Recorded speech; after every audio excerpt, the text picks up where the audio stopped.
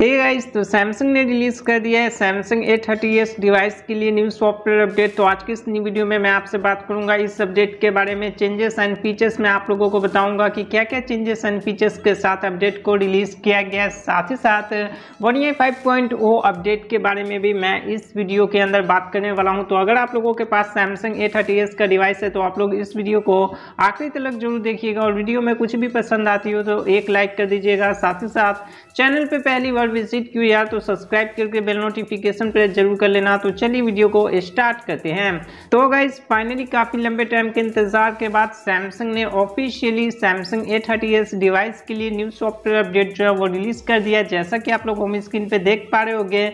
बात करें इसके अपडेट फ़ाइल के बारे में तो two hundred thirty four point six nine M की हमें अपडेट फ़ाइल देखने के लिए मिल जाती है। वन अक्टूबर टू का सिक्योरिटी पैच इंक्लूड किया गया है। साथ ही साथ इस अपडेट के अंदर आप लोगों को काफ़ी अच्छी ऑप्टिमाइजेशन एंड इम्प्रूवमेंट्स जो है वो देखने के लिए मिल जाती है। सैमसंग के कुछ ऑफिशियल एप्लीकेशन को लेटेस्ट वर्जन पे अपडेट किया गया साथ ही साथ डिवाइस के स्टेबिलिटी को इम्प्रूव किया गया डिवाइस के परफॉर्मेंस को इम्प्रूव किया गया बग्स फिक्स किए गए और नए पुराने फीचर्स को यहाँ पे इन्हेंस किया गया है।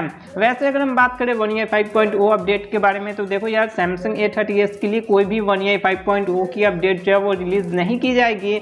जैसा कि आप लोगों को पता होगा कि ये officially one UI five point O की अपडेट लिस्ट भी जो निकल के आई थी उसमें ए थर्टी एस का नाम इंक्लूड नहीं किया गया था और ऑब्वियसली ए थर्टी एस की अपडेट पॉलिसी जो है वो कंप्लीट हो चुकी है।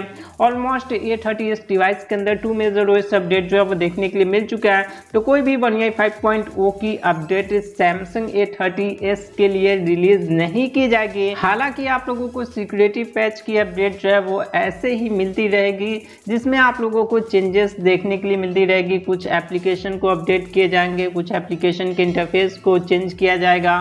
सिक्योरिटी पैच आप लोगों को इम्प्रूव देखने के लिए मिलती रहेगी। आप लोगों के स्मार्टफ़ोन के अंदर कुछ भी प्रॉब्लम्स आ रही होगी तो उसे यहाँ पे सैमसंग जो है वो फिक्स करता रहेगा।